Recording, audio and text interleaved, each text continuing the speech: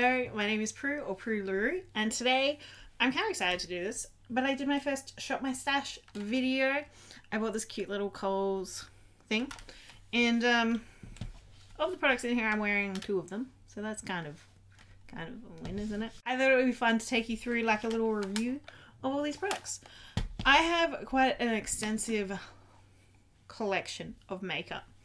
And my favorite thing to do my makeup is to wear something different every day. I don't think I it's very rare that I will go for the same foundation day in day out. So this was a really good challenge for me to force myself to wear the same products for pretty much two weeks straight. Some did get swapped out because I was like, this is just terrible. I'm not doing it. And it was just a really fun way to get to know my collection. And at the moment, I'm doing a role where I, I can wear makeup like every day to work if I feel like it, and I don't sweat it off so that's kind of nice. And I'm also doing my eyeshadow primer test thing, which is an ongoing thing. So let's just pick up products and have a chat about them. So I've got the Stila, what is this? Stila Beauty Boss Lip Gloss in Synergy. This is a really pretty color. I really like it. The packaging is cool. Man, this dried my lips out something chronic. I could not believe it. I have to me, a good gloss just doesn't give me like last like a couple hours, but it doesn't dry your lips out and make them a bit crusty. I got crusty lips from this, so I kind of I'm not a fan of it anymore. I don't know what I'm gonna do with you anymore, but I'm probably gonna get rid of this because it annoyed me. But I was looking forward to having like a nice sleek packaging lip gloss that worked really well. So because that one sucked, I ended up pulling out my So Juicy from Colourpop, and this is in Smack Dat. Oh my god, I completely get it now. Why people love these so much. They do just add a beautiful gloss to your lips, bit of colour, and they don't dry them out. It's super cheap and affordable. And you can see how much I carry this around me at work because I've lost the juicy. I lost it. Now I've been wanting to play with this one a bit more in my collection. I have like eight foundations, I think. But this is the NARS Velvet Matte Skin Tint in Terre Neuve. And um, it's interesting. I bought this because I wanted like a BB cream. I think I've got a video of me applying. Anyway, so this foundation or matte skin tint, yeah, this is mattifying and it smells like alcohol. If you are interested in this and like, I don't know, I thought it'd be good because I'm still struggling with my pimples, so I was like, maybe we'll just dry it out. Like, why not? Let's go for it. But I found it was just so finicky. It doesn't blend out well with a sponge. Not like a brush, kind of, but it's a bit of work. It works the best doing it with your hands, which is feels very strange in this day and age to be putting it on my hands, but it really does blend in nicely with that. So it only, for me, I'm quite oily, and this only wears nice for me if I have illuminating primer underneath it. If I use my normal mattifying primers, oh my god, it was terrible. If I use it with my pore, I did use it. I tried it out with the Smashbox Pore Refining Foundation Primer and it just, it didn't want to stick. These like battled heads. So the, yeah, it's a bit too finicky for my liking, especially for what I wanted it for, which was just like an everyday foundation to wear to work that I could just slap on with no stress. This is not it. The Smashbox Photo Finish Foundation Primer, pore minimizing. Um, I'm still not sure how I feel about these. I find that pore minimizing fan like primers tend to just interact with my foundations a lot more. I'm sure it's something to do with the silicones, but I don't fully understand why it happens. So I just find it a bit finicky, and I'm not that bothered about my pores being on display to really care too much. I think I don't really like pore minimizing primers. Let me know what you think about pore minimizing primers. Um, like, should I dabble in them some more? And for my sunscreen, I have had this Alpha H Daily Essential Moisturizer, 30% um, SPF 30 for quite a while now. And I just really wanted to get to know it really well and use it and see if I thought it was any better than my favorite, the Mecca Save Face. And it's not. I like it. Like, it's okay. But I find that if this is the only thing that you put on your face that day, it will start peeling later. But it does wear nicely underneath, like, my all my makeup for the day. So I probably will just use it up and never repurchase it. For foundation, I ended up swapping out the NARS one for this one. The L'Oreal Infallible in porcelain. And I actually really like this. I ended up enjoying it more not using it with concealer. Just like, because I found, I ended up finding concealer to be quite finicky for me to work with and it wears differently to this. So For me, when it comes to work, I think I prefer not wearing concealer to work anymore, which is a bit strange. But I just don't have time to touch up, and this for me wears beautifully on my skin, and it wears down evenly. So if it's still not there at the end of the night, it doesn't look terrible. I like that bloody NARS one. So the L'Oreal Infallible in the tube. I'm a huge fan. I really like it. Um, for concealer, I pulled out. I've got the Elf Camo concealer, and I actually do really love this concealer. I am wearing it today underneath. Um, and for me, it really lasts a long time. And what I found is that uh, if I'm doing a work look, I tend to only just do under my, under my eyes with the concealer, and I just be left with the concealer there, and the foundation is like, and my skin's peeking through a lot more. So it, it just wasn't that good. I see a lot of people complaining about this now being quite drying, but I, like I don't know, it seems fine. I've never had an issue blending it out or anything, and I really rate this concealer. Uh, it's very comparable to me to Tarte Shape Tape. It's quite nice. It's worth a try. Uh, I do always powder down my face no matter what I'm doing, and for powder, I've been testing out my sample of the Laura Mercier Translucent. So this came in our Mecca Beauty Loop boxes, which I was super excited about because I've been dying to try this one. And I found that it's just got like the three little dots in the top. And it's so hard to get it out, but I got the lid out and just have been dunking in it and using it.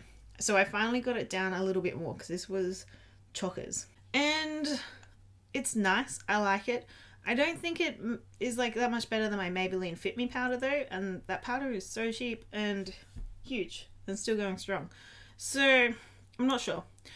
I don't know how I could go about comparing the two on a day, uh, which I like. I'm happy to do if it's something you'd be interested in doing, but I don't think I'll ever bother to buy this. I'm very happy with my Maybelline powder, which seems so strange. There's so many drugstore products in here. If you've been watching my channel for a long time, drugstore is new to me, and the I don't know. I've just always been like a person who likes going to Mecca and Sephora and Myer um, for like that luxury beauty experience. But it's super fun to get into drugstore and just find some really solid products there. So. For primer, because the NARS one ended up being so crazy, strange and drying, I used the VDL Primer Layer. Lumilayer. The VDL Lumilayer. This is one I got in my Beautylish Lucky box at the beginning of the year.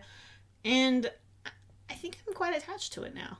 Wait, I would only put this underneath a mattifying foundation just because if I put it underneath like a more dewy foundation, it's just going to get really oily and it wouldn't look good at the end of the day. And I have done it a few times and that's when I haven't reached for this. I haven't reached for this primer as much, but recently using it, I quite like it. It lays really nicely and it it's good. And that worked quite well with the NARS Velvet Matte Skin Tint. They went really nicely. So if you do have the Velvet Matte Skin and you're struggling, put it with like a really nice luminous primer, even if you are oily, and like I reckon results will improve. So I might keep the NARS because it goes well with that. I'm not sure. But I ended up did ma making it work for me, so it kind of good. For the L'Oreal Infallible, the primer I ended up putting underneath it is the new Fenty Pro Filter Mattifying Primer. I think I'm becoming a Fenty girl because, oh my god, this is amazing. I love it. It blends in beautifully, it sits beautifully underneath everything, and I felt like it really did make a difference in keeping my oils at bay. For brows, some of these products are multiple. Um, so I ended up buying the Anastasia Dip Brow Gel, and I've had the Too Faced Brow Quickie for a while. So I ended up sort of just rotating through this, so I had like a little bit of variety. So this is got microfibers in it, which means that when you put it on, like if you, it's like a bit fairy. And just adds like an extra hairs to your, and it can be just a really easy, quick way to put your brows on. And then this is just like a colored gel to put in your brows. I quite liked it. This is very easy to go overboard with, and this is not. So, if you want quick and easy, no fuss, Too Faced. If you're happy to for spend a little bit more time finessing, the dip brow is quite good. I like it. And then I'm sorry to go back to concealer. I did try out. So I've got this MAC Pro Longwear Concealer in NC20. And I just found, I'm not sure like who I was when I bought this anymore. Uh, I ended up finding it just quite yellow. But it wore down quite nicely. That's actually just like... But I think for me, just in the morning, it was like just a bit too finicky to deal with the pump. And I ended up even thinking like the elf camo was too finicky. Yeah, I also just found so this is the MAC one. It was just quite yellow on me. I don't know. And the elf, ugh. I mean the elf is a little bit lighter, but it's still quite yellow. And I don't know. I just I realized I don't like yellowing concealer. But it's not bad. I would definitely try this in my color or if I get a tan. I think this will work for me. But I think it does need more of a um it needs a more mm, full coverage to go with it. For mascara, I tried to just keep it to the Maybelline Falsies mascara, which I don't mind. It's quite nice. Um, difficult to get off. I don't know how I feel about that. But it works. But I found that I would just end up switching out products anyway with mascara because I was like, I can't keep using the same products for everything. This is another product that I just like don't really remember who I was when I bought it, and this is the Smashbox contour palette. Um, it's got three colors. I tried just go dipping into it a bit more and using like the bronzer and the highlighter. I didn't mind the highlighter to put like powder underneath my eye some days, but this is not something I would buy now.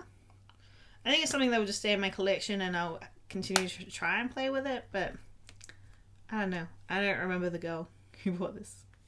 Uh, let me know if you have products in your collection that you're like that with.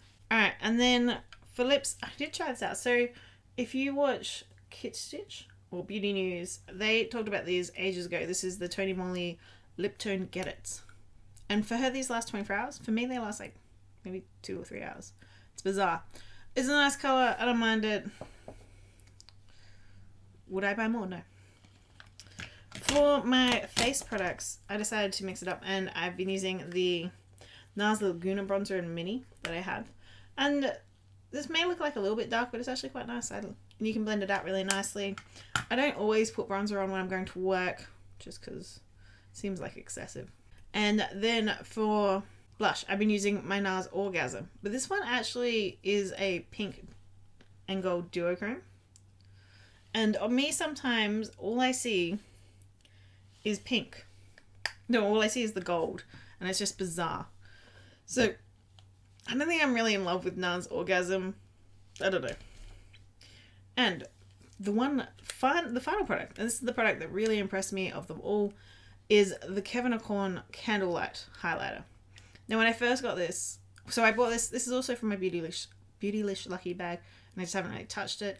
When I first was using this, I was just putting it on with like a brush like this and then dabbing it on. I'm actually I'm wearing it right now, I think. Yeah. And it just wasn't having the effect that I wanted. I did a little bit more research and it works really well with like buffing it in. So just even using one of these brushes and just like really like gently going like that along. What was also way to do it? Going like this. I'm show you. So really sort of buffing it into your skin and you get such a beautiful highlighter. I'm quite a fan of this one. So I'm glad that I gave it some time and really gave it a chance to love. Anyway, so those are my thoughts on my shop, my stash products. Shall I choose out what I'm going to do next? Might as well. So I'm going to keep up with the Alpha H until that's used up. I quite like this work. I don't know. The L'Oreal Infallible. We're going to knock out concealers. I've had a lot of fun with the Kevyn Aucoin highlighter, but we, we have we have options. So I'm gonna try I can the Mecca Enlightened. I haven't given this much of a chance, and I'm curious to see how it goes. Ooh, I bought this the other day. I have not spent much time with it, but I got one of the JLo bronzers from Inglot. I don't know why I bought this. I think the bronzer drawer looked a bit empty to me, so I wanted some more bronzers. Forget which one that is exactly, but I will figure it out by the end of this. And for blush, let's do... Oh, you know what? I'm curious to spend some more time with the Flower Beauty Peach Primrose. I've wanted quite a bit, but I haven't... What's the best way to say? I haven't, like... I don't know, I've paid attention to how it wears and all that sort of stuff. So those will be good to use. And then for powder, I'm going to go back to Old Faithful, the Fit Me, and see if I notice like any real difference between my pad usage. I'm probably gonna you know, mix it up with brows a bit more. I'm gonna keep playing with those two. Just because I'm not I'm not sure on my like I like I like I don't think my opinion is to change, but I'm happy to keep playing with them and see if it does change. All right, for Mat, I'm to use this a Smashbox photo finish. Uh, I don't know. I don't even know. I forgot it was in my collection. I don't know how I got it. And see how we go. All right. Let me know if you want to see what this ends up being. I probably will change it out over the next couple weeks just because I get bored of things. And I might change the foundation that I use. I don't know yet. Anyway, let me know if this is the sort of content you would like to see from me. It's a bit different and a bit out of my comfort zone, but I'm happy to provide it to you if you're interested and it's giving me a really good reason to just hone in on my collection. Anyway, thank you so much for stopping by. Absolutely appreciate it. If this is your first time here, I'd love it if you'd consider subscribing or at least checking me out and watching some of my videos and see what you think. Let me know you stopped by, leave a comment down below. I just, yeah, thanks. Absolutely appreciate it and enjoy. Mwah.